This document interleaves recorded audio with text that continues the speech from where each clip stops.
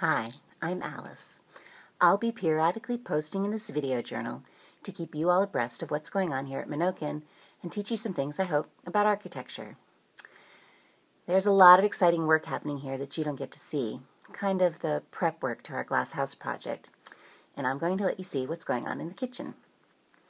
To me, the structure of the building is a lot like the bones of a body.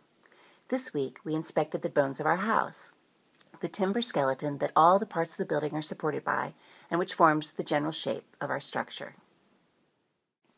The house was surveyed by architectural preservationists Ward Bucher and Nikita Reed of Encore Sustainable Design.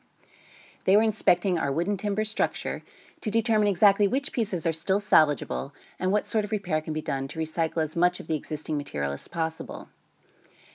Here they are inspecting the Queen Post roof truss. This is the main support system for the roof of the building.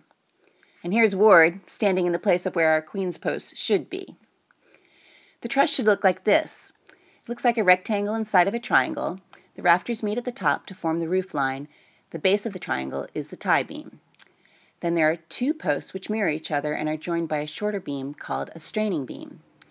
When you have two parallel posts like this, it's called a queen truss.